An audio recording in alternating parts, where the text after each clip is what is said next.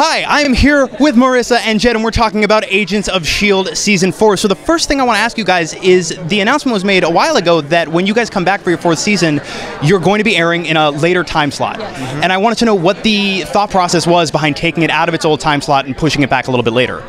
Um, well, these decisions are made by people who are. are We didn't make that decision, did. to be honest. But um, but I think that the general thinking is as we move into deeper into our season count, uh, that our fans will follow us wherever we go. Sure. And also, it will free us up to do some of the things we plan to do this year, which is move things in a slightly darker direction, uh, uh, which was evidenced by the announcement of Ghost Rider today. I Right. did. I, I will be, well, I'm sure, the umpteenth person to ask you about Ghost Rider.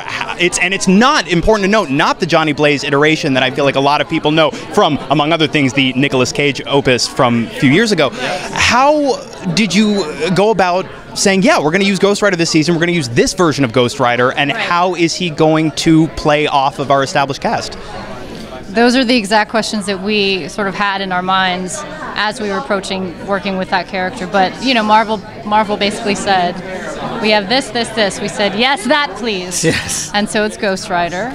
Um, doing the Robbie Reyes version of the character is very interesting to us. We don't have any characters like him on the show as far as his background goes. So, sort of exploring his life and what that means. It also is a new comic. It gives us a little more freedom to sort of do what we want with it, and and, and I mean, we always take it our our own. liberties with the properties, but with him, since he is such a new comic, um, we can we, we, can, can, really define something who he new, is. Yeah. Sure, that's really exciting. I, I do want to ask, and then I'll obviously let you guys go. You put the team through the wringer so severely in season three. These these nice, lovely people. Uh, these awful things keep happening. Right.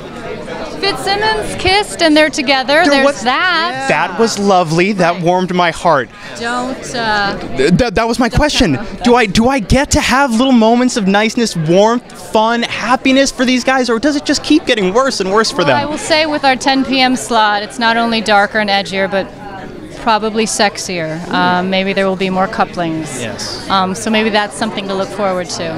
And I will. All right, thank you guys so much for your time.